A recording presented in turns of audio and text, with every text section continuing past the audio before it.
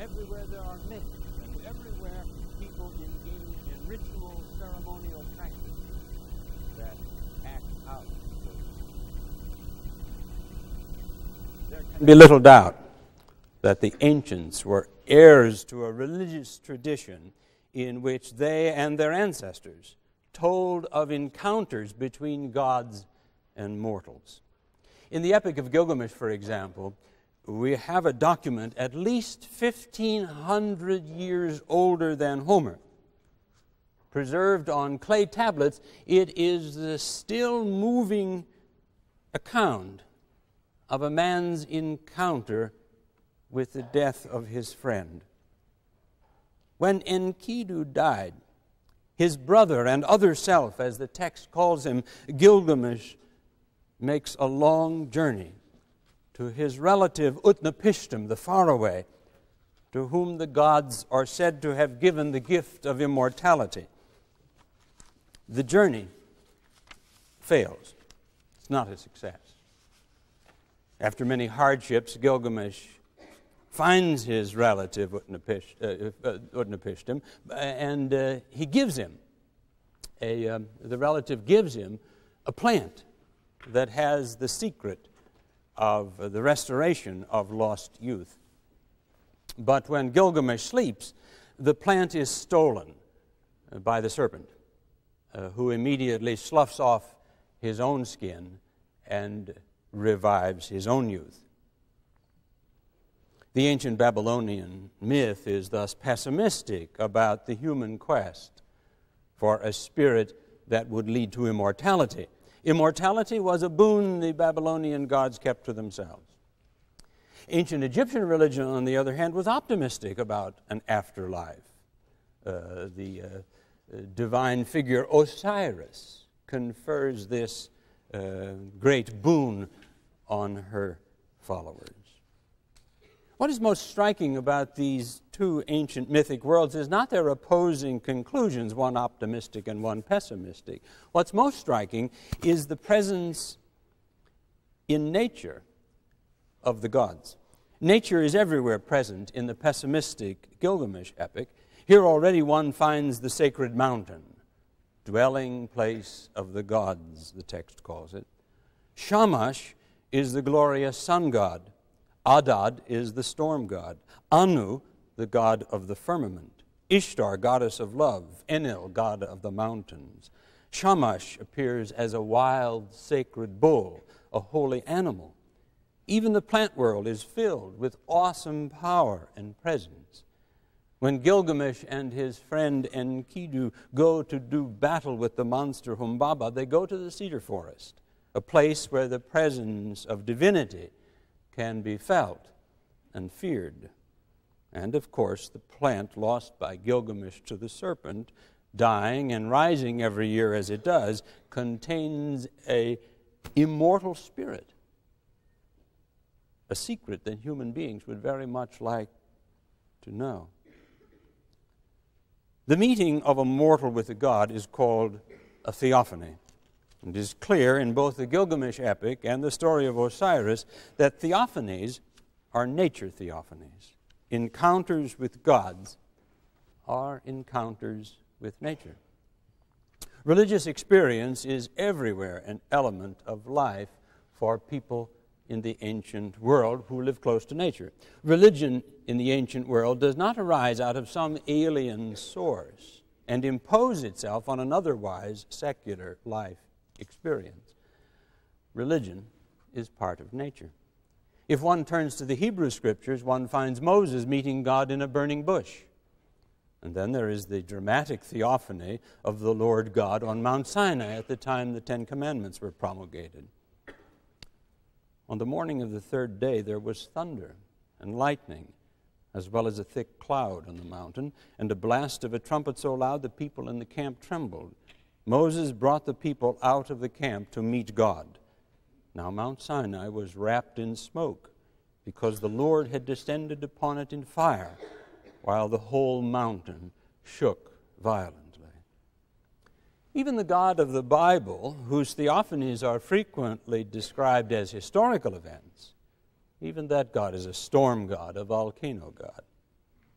Readers of Hesiod and Homer, even readers of Ovid, can easily make a catalog of the gods by the nature element they are associated with. Zeus is a sky god, Poseidon, god of the sea, Hades, god of death in the underworld, Apollo, god of the sun, Aphrodite, goddess of love, Demeter, earth goddess. These and other members of the Greek pantheon are not, I think, personifications of nature, though it's often said that they are. They are the results of religious experiences. In the presence of the sky, the sun, the moon, the earth, the forests, mortals come into contact with an awesome reality, a sacred presence. Here it was felt was the holy, the source of life and meaning. And this, the ancients said, we must hold on to or we will be lost. Homer makes one society out of both gods and mortals who populate his grand epic. Both gods and mortals do battle in the Iliad. In the Odyssey, gods and mortals conspire to bring Odysseus home and to hinder his return to Ithaca. When he arrives home after 20 years' absence, 10 years fighting, 10 years wandering, he comes disguised as a poor beggar he reveals himself to his wife, faithful Penelope, but uh, after 20 years, she puts him to a test. And she doesn't directly ask that he prove that he is Odysseus. Rather, she orders her maid, Eurycleia, uh, to make up a bed for the stranger. Bring Odysseus' own bed from his bedroom out here and cover it with fleeces and blankets, she tells Eurycleia. Odysseus' response to Penelope proved that he was her long absent husband. No one could have moved that bed, that bed I made, for I laid the bedroom out around a live olive tree, trimmed it and planed it, and made it a bedpost with its roots in the ground. No one, unless he dug up that post, could have moved my bed. With this, Penelope and Odysseus burst into tears and embrace at long last. Man like Odysseus, rooted in his native soil, whose marriage was rooted in his native soil, would have found it hard to worship Homer's gods. They are the gods whose power and divinity were everywhere around him in the land, in the sky, in the sun, in the trees, especially in the sacred olive sacred to Athena. The Greeks not only preserved ancient nature theophanies in the great Homeric myth, but they acted them out in their ancient rituals on stage. The plays of Aeschylus and Sophocles dramatized the mythic encounters with gods so that the people in the audience could have the same encounter with the deity that the hero or heroine had in the myth.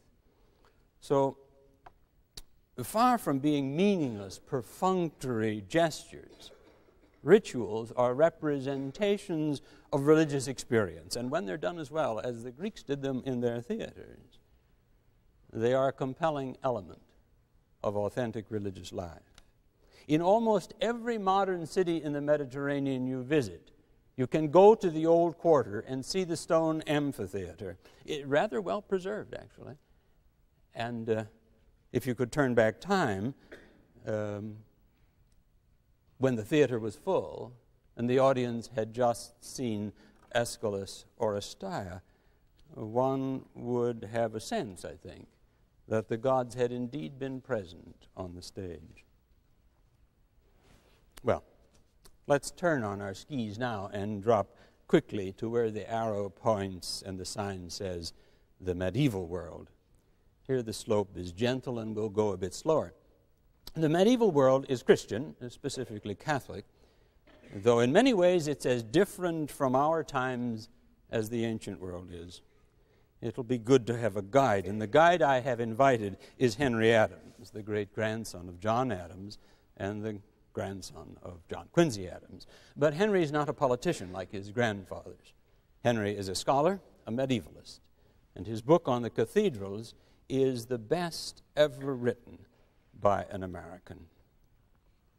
Um, we must remember as we listen to Henry Adams that, like the Greek theaters, cathedrals are places for ritual performance. Only the cathedrals are vastly more complicated structures than the ancient amphitheaters ever were. Ever were. That is the reason for the guide.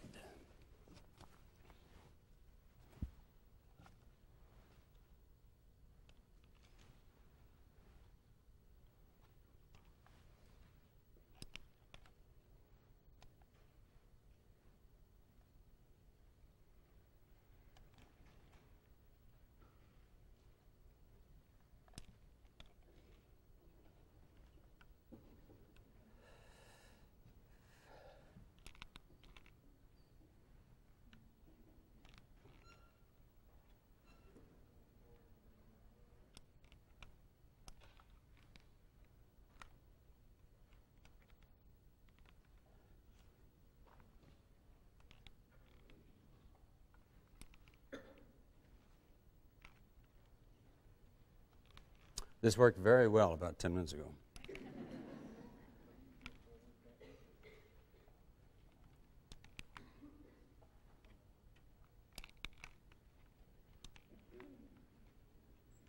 I think I think I am. You want to come and do this?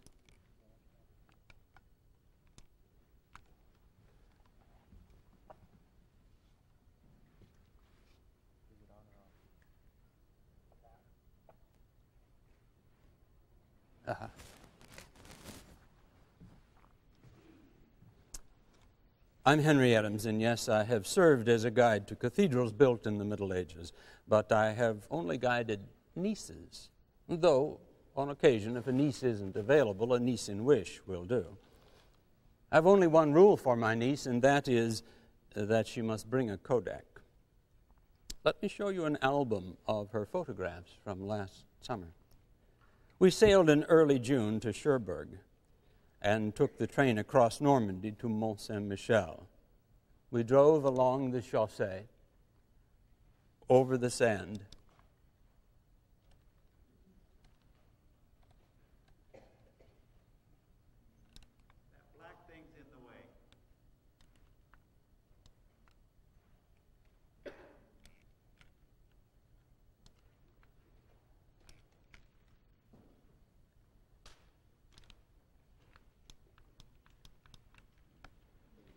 Well,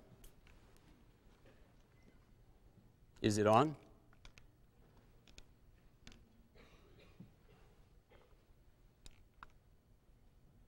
Over the sand and through the tide and came inside the gate to Madame Poulard's famous hotel. While my niece photographed, I talked the archangel loved heights. He stands on the summit of the tower that crowns his church, wings upspread, sword uplifted, the devil crawling beneath. The archangel stands for church and state and both militant. His place was where the danger was the greatest. And so you find him here where he has stood for centuries on his mount in peril of the sea. Our Norman ancestors were at work building this abbey in the 11th century before they left to conquer England in 1066. We Normans quarried the stone for St. Michael and fought the English with the same energy. Here in the crypt of massive pillars and tiny chapels, the great church began to take shape. Here the lines are Norman, rounded, Romanesque, and strong, perhaps not graceful, but masculine and suggestive of the archangel who stands on the tower high above. Here in the church above the crypt, the same lines and rounded arches mark the Norman architecture.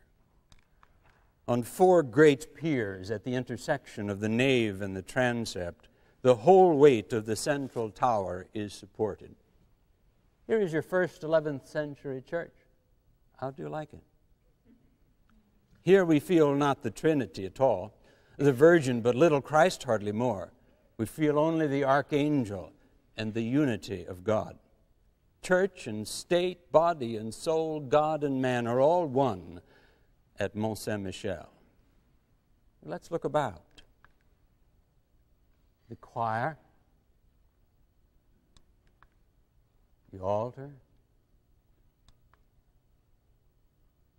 Bishop Aubert, who received the instructions from Michael to build a church here. But the church is not the only thing that the tourist should see on this mount in peril of the sea. Mont Saint Michel was a Benedictine monastery. Here, in this hall, the monks welcomed the Knights of the Order of St. Michael. The whole design is as beautiful a bit of early Gothic as exists. Hospitality was a monastic rule, and it was fulfilled in this beautiful room. Next door, however, exists an even more graceful hall, the refectory where the monks ate.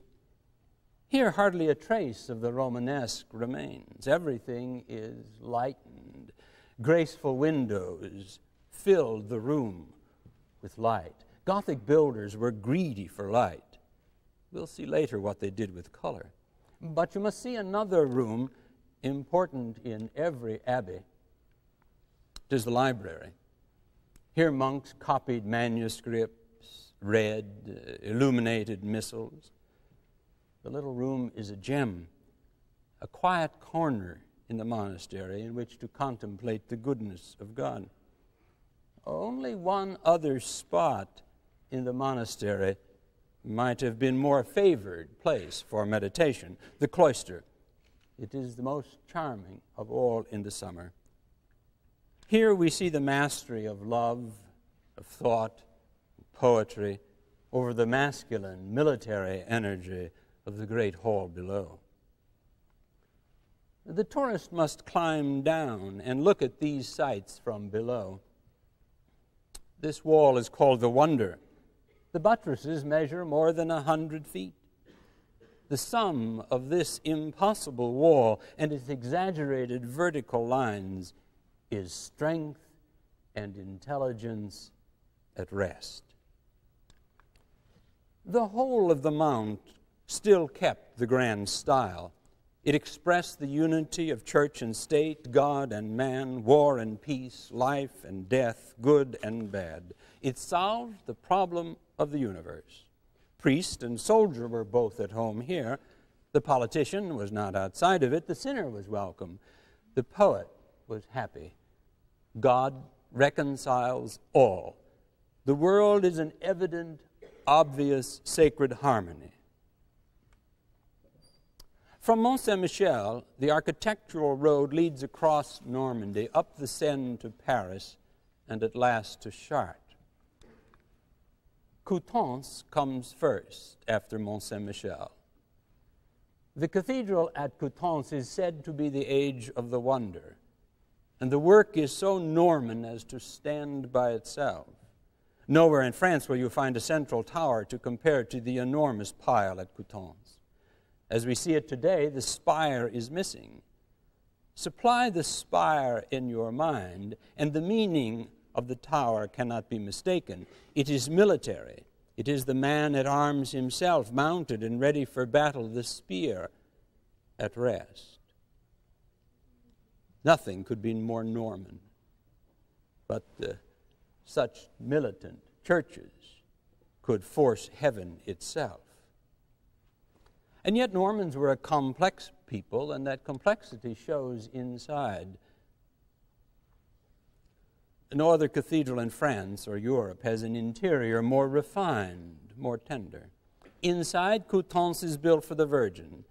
It is filled with a delicate and feminine charm. That charm is seen everywhere here in the nave, in the choir, in the Lady Chapel, located directly behind the high altar as a private room for the Virgin. Here in Normandy, to the astonishment of historians, there suddenly appeared a passionate outbreak of religious devotion to the ideal of feminine grace and beauty and love. Among the most hard hearted and hard headed people in Europe, the church is a monument to that ideal. From Coutances, we pass on to the city of Bayeux. At Bayeux is a great cathedral with two superb western towers, crowned by their spires. The spire is the simplest part of church architecture and needs the least study in order to be felt. The spire typified the aspirations of people when their aspirations were at the highest. Many French churches lack the spires intended for them. But here at Bayeux, they stand and witness that what our Norman ancestors began, they finished.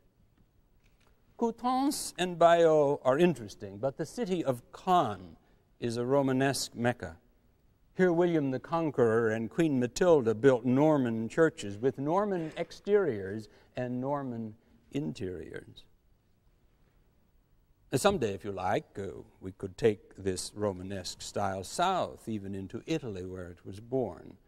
But now we must go on to Rouen, where the Norman style begins to give way to that of the Ile de France. At Rouen, we see a cathedral in which both Norman and French influences are to be found, but the French predominate. The Normans and the French never spoke the same architectural language. Uh, the Normans built towers in which all the stories were of equal height. The Norman scheme was to state the facts and then stop. Uh, the French scheme is more graceful. It states the beauties and more or less fits the facts to them. And here we take leave of Normandy.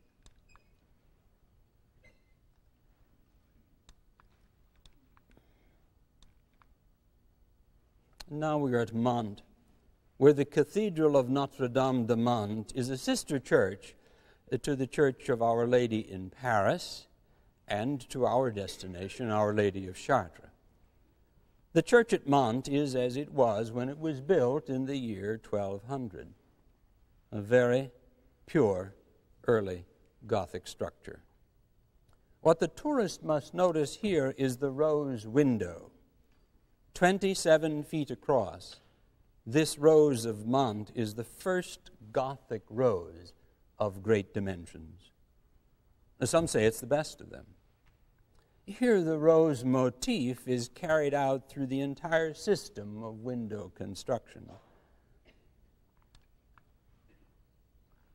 The rose window is one of the loveliest features of Gothic architecture, and we shall see it again at Chartres. We've set out to go from Mont Saint Michel to Chartres in three centuries the 11th, the 12th, and the 13th, trying to get on the way not technical knowledge or accurate information about art or history or religion, but only a sense of what those centuries had to say and a sympathy for their ways of saying it. Let us go straight to Chartres. The first glimpse that is caught, and that was meant to be caught, is that of the two spires.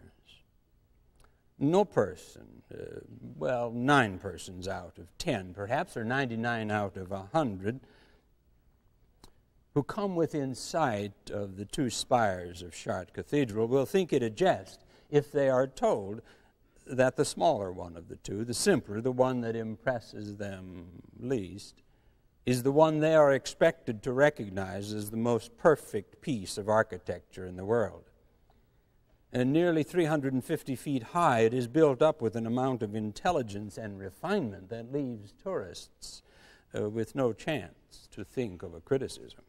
Somehow, the architect succeeds in carrying our eyes from the four sided base to the eight sided spire with a degree of finesse that is unsurpassed. And towers, though beautiful, are the least religious architecture and uh, not really essential to the church. Bernard of Clairvaux, St. Bernard, thought them a growth due to worldliness, just an ornament. The church door is another matter. It symbolizes the way to eternal life. The portal of Chartres is the most complete and instructive of Gothic doors. Over the central door is Christ, who offers himself to his flock as the herald of salvation. There's no hint of fear, punishment, or damnation. Before 1300, the church seems not to have felt it necessary to appeal habitually to terror. The promise of hope and happiness was enough. At Chartres, Christ was identified with his mother, the spirit of love and grace. And his church is the church triumphant. Uh, turn aside and look at the south door.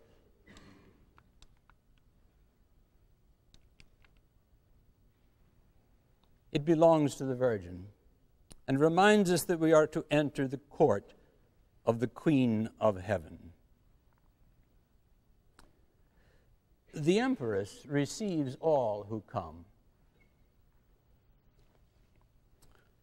Not one of these long figures which line her doorway is anyone but an off- officer in attendance on the Empress and her son and bears the stamp of the imperial court. These officers of the virgins are themselves, virgin are themselves kings and queens, prophets, apostles, saints. Only later tourists saw these figures as stiff. Mary's pilgrims saw them filled with the same feminine grace that marks the whole building. But we shall not enter the church here. We must go round to the north side and see the porch dedicated to the Virgin. The French loved porches more than any other people and took great, great care of them. Women, especially, came here when they needed help. It was the only place where they were sure to find a reception. The main feature of the central bay over the door is a scene of the coronation of Mary as Queen of Heaven. It dominates the whole idea of the church. Here, Mary, seated by divine right on the throne of heaven, is one with her Son. Unless we feel this assertion, Chartres is unintelligible. Of course, the assertion is not orthodox, but even the Bishop of Chartres would not raise an objection. He's much more afraid of Mary than he ever was of a church council. Like pilgrims, uh, like all the pilgrims, the bishop too noticed what was missing among the 700 figures about Mary's porch the judgment. Nothing here suggests such a thing. All are welcome here. Mary is Queen Mother of all who enter. Here, too, she is flanked by tall, graceful attendants. First on the left is Melchizedek Abraham, about to sacrifice Isaac, must look away from Mother Mary and Moses. Nearby stands John the Baptist with the Lamb of God. The south porch is dedicated to Christ. Let us go round and enter the church there. This doorway is very grand, impressive, and masculine. It was given to the church by Pierre Mauclerc, Comte de Dreux, a famous member, wealthy member of the royal family. The porch is full of saints and confessors of the faith. But of the 28 great figures that make up the royal court around Christ, not one is a woman. The porch asserts the masculine orthodoxy of Pierre Mauclerc. The central scene of the porch is that of the Last Judgment. Here, Christ is seated in judgment. Mary and John try to save souls. The whole church of Our Lady of Chartres is dedicated to the hope of their victory. Let us now enter. We must take a while to accustom our eyes to the light. And while our eyes adjust, let's remember why we have come to Chartres. Our purpose is not a deeply serious one. We're only tourists seeking amusement. But it so happens that our mood fits that of the church. Chartres is a toy house built to please the Queen of Heaven, to please her so much that she would be happy, charm her till she smiled. The church was built for her exactly as a little girl builds a toy dollhouse for her favorite doll. Unless you can go back to your dolls, you're out of place here. But if you can go back to them, you will see Chartres in glory. Chartres was built to be Mary's delight by people devoted to her. Now, the measure of this devotion can prove itself to any American mind beyond all doubt uh, by the money it cost. In a single century, from 1170 to 1270, the French built 80 cathedrals and nearly 500 churches of the cathedral class at a cost of $500 million. Well, this investment in the Virgin Mary expressed an intensity of conviction never reached by any passion, uh, save perhaps war. Now that our eyes have adjusted, let us look about. We begin at the front of the church with the great rose window over the western doors. The rose symbolizes Mary herself, Rosa Mystica.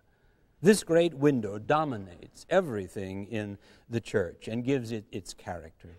The window is 44 feet across. Its size alone proves its importance. It is the most conspicuous object the Virgin would see from her shrine behind the high altar.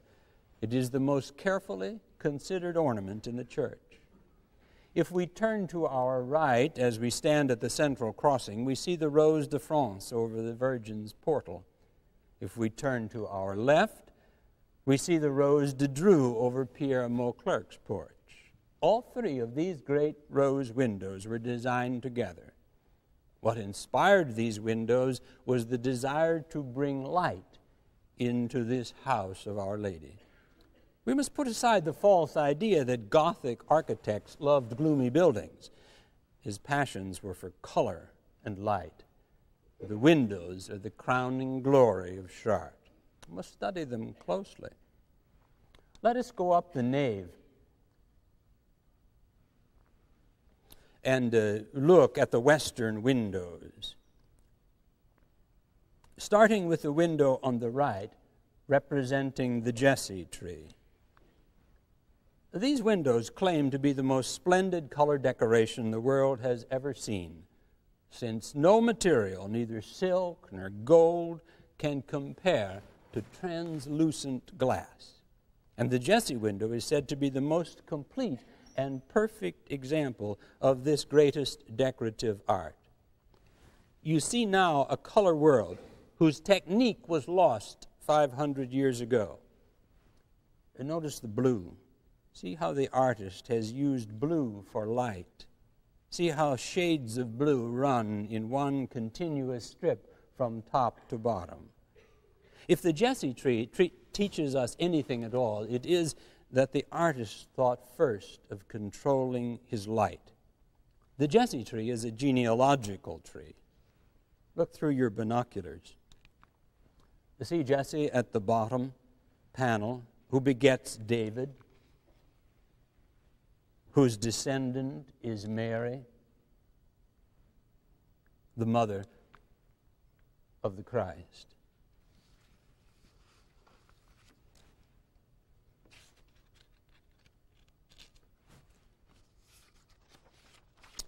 The Jesse tree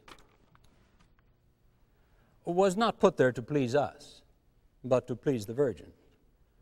Look at the center window next to the Jesse tree.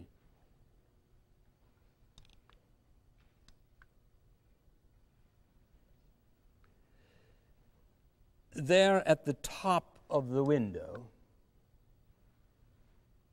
sits the Virgin next to her genealogical tree to prove her divinity.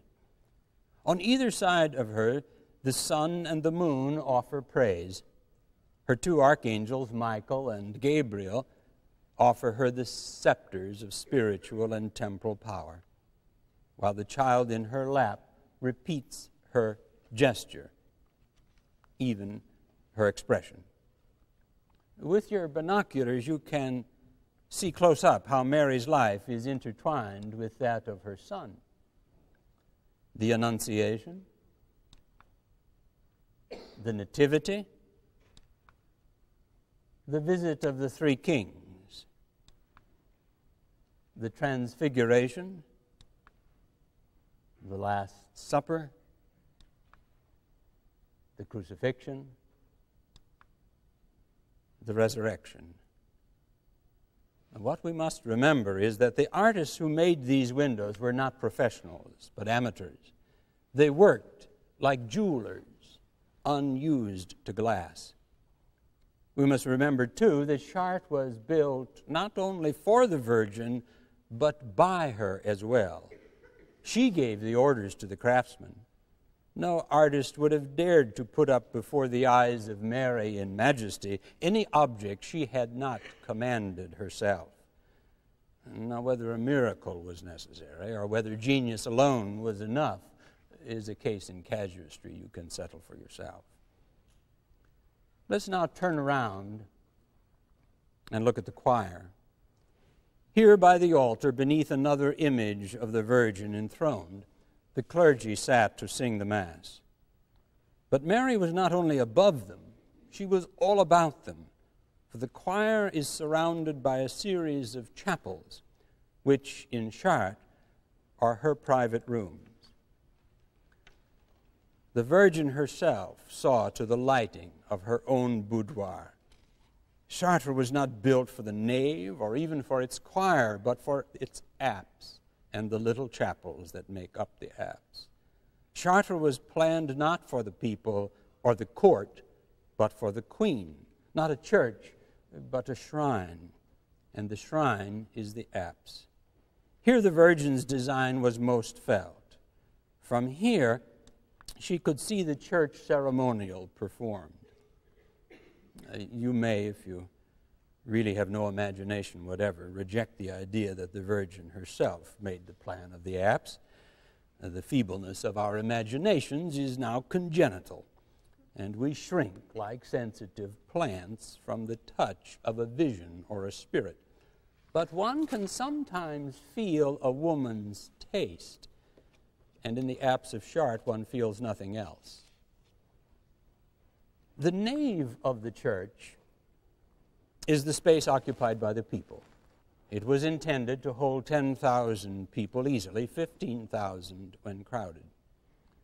Chartres was a local shrine in an agricultural region, not even part of the royal domain.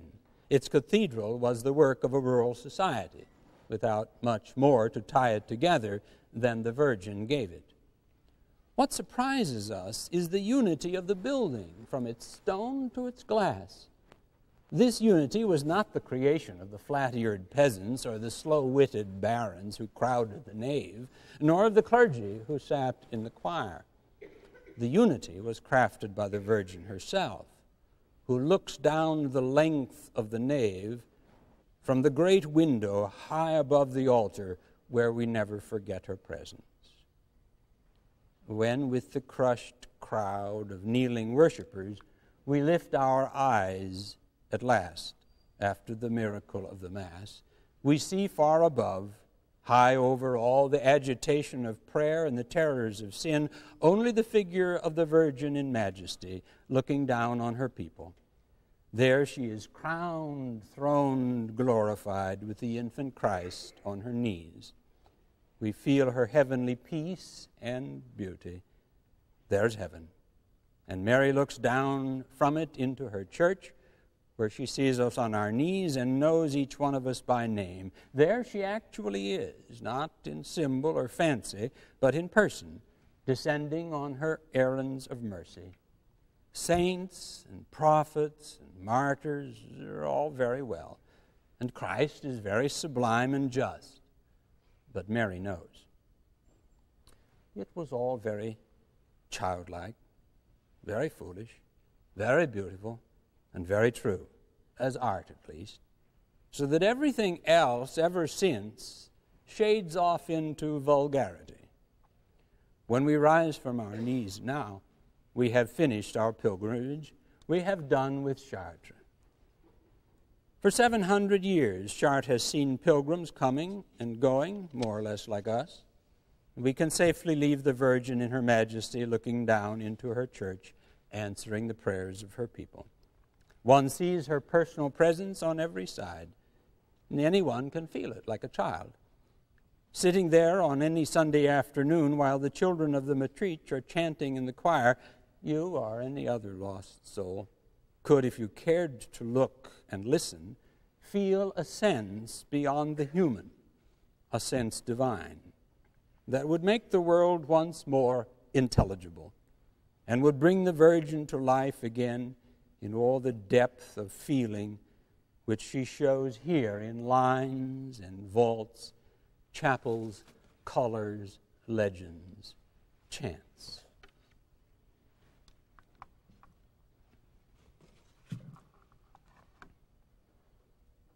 Uh, thank you, Henry Adams, for that tour of the medieval cathedrals.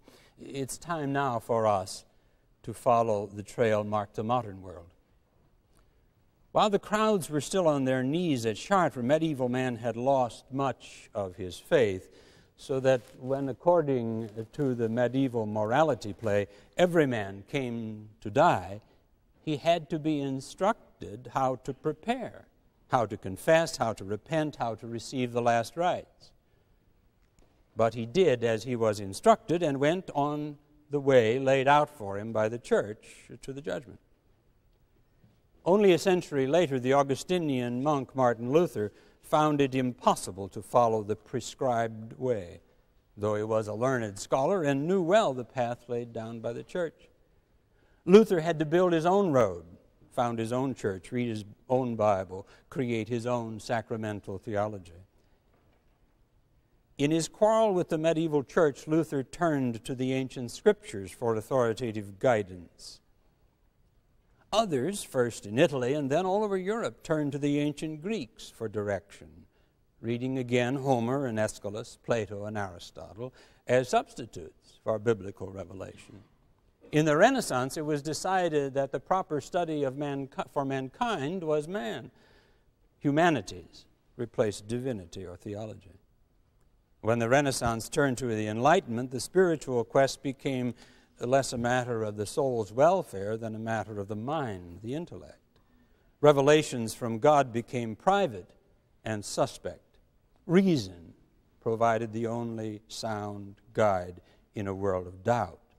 Doubt Descartes raised to a system. Modern people continue to admire the cathedrals, but uh, do so as tourists. Those who read the classics and the scriptures read them also more and more as tourists just passing through. Doubt about their truth characterizes the modern mind.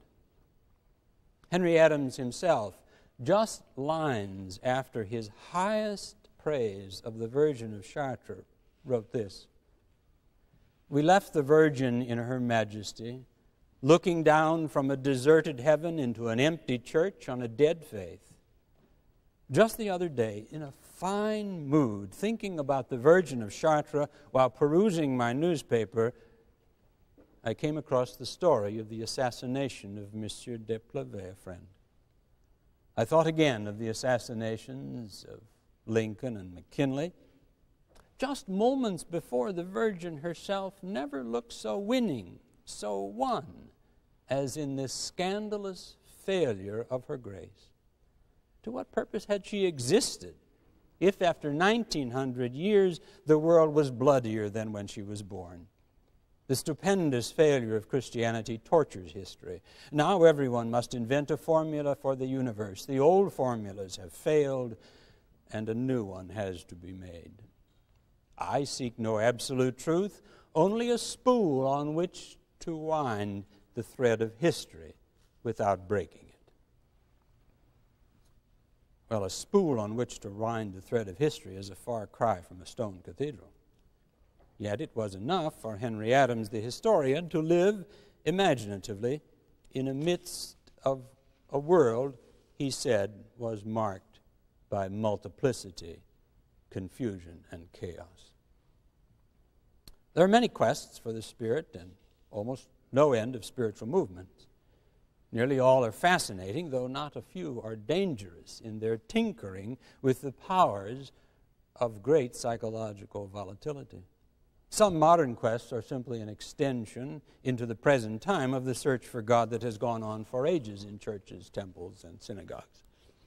But what characterizes the modern quest is the struggle with doubt, which arises from the presence of evil. And in the 20th century, evil on a colossal scale.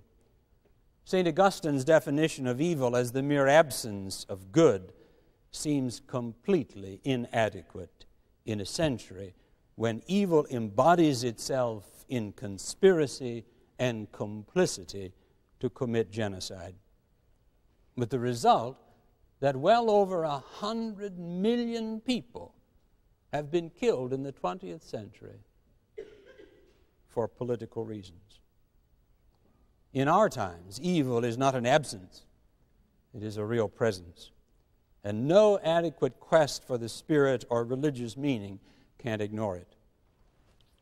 One of the most dramatic stories of a modern person's confrontation with evil is told by Elie Wiesel. As a pious Jewish boy of 13, Elie and a playmate were told that if they observed the Sabbath perfectly for three weeks in a row, they'd bring the Messiah. And they set out to do just that. They failed. Instead, on one Sabbath evening, Nazi SS troops arrived in Sighet, his village in the Carpathian Mountains in Romania. The Jews were put in cattle cars and shipped to Auschwitz. In his memoir, a terrifying little book of a hundred pages entitled Night, Wiesel tells of what he saw in a passage that is perhaps the most famous passage in all of Holocaust literature. Never shall I forget that night, that first night in the camp, which has turned my life into one long night, seven times cursed, seven times sealed. Never shall I forget the little faces of the children whose bodies I saw turned into wreaths of smoke beneath a silent blue sky. Never shall I forget those flames which consumed my faith forever. Never shall I forget that nocturnal silence which deprived me for all eternity of the desire to live. Never shall I forget those moments which murdered my God and my soul and turned my dreams to dust. Never shall I forget these things, even if I am condemned to live as long as God Himself. Never. In more than 30 subsequent books, Elie Wiesel struggled to come to grips with the Holocaust and what it says about the indifference of humanity and the absence of God. His novels, plays, and essays experiment with possible responses to what the Holocaust reveals. He experiments with revenge, with violence, silence, madness, and rejects each in turn. To argue with God, though, he does not reject in a play called The Trial of God. He remembers the night in the barracks at Auschwitz when, as a boy of 14, he witnessed a rabbinic court called to put God on trial for what he had allowed to happen. He recalls the verdict was guilty. The figure in the Bible Wiesel most identifies with is Job, because Job argued with God. Even in his memoirs, Wiesel says little about his own personal quarrel with God, but defends the old Jewish custom of arguing with God. says it can be justified if it is done in the name of victims on behalf of those who suffer injustice. In his memoirs, Wiesel tells of meeting the great Lubavitcher Rebbe Menachem Mendel Schneerson. The Rebbe had read some of my books in French and asked me to explain why I was so angry with God. Because I loved him so much, I replied. And now? he asked. Now too. And because I love him, I am angry with him. The Rebbe disagreed. To love God is to accept that you do not understand him. I asked whether one could love God without having faith. He told me that faith had to precede the rest.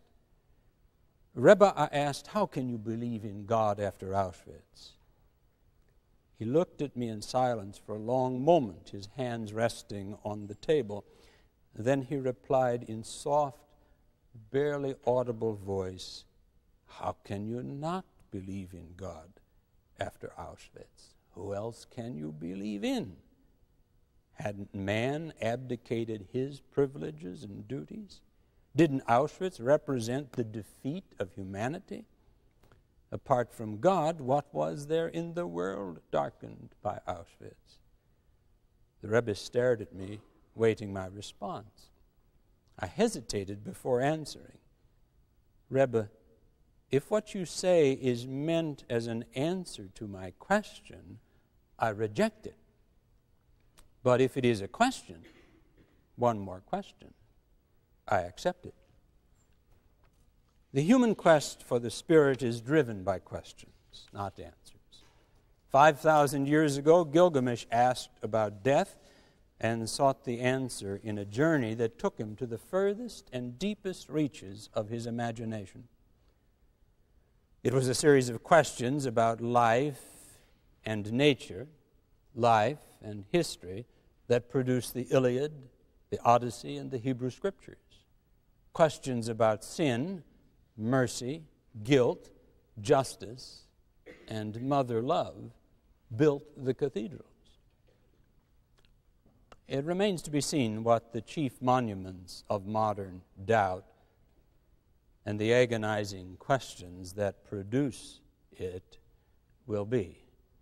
But we already know the questions and they are as difficult and disturbing as any that have ever been asked in human history.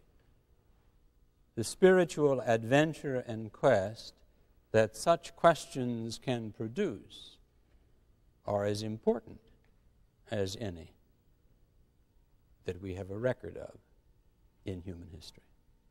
Thank you.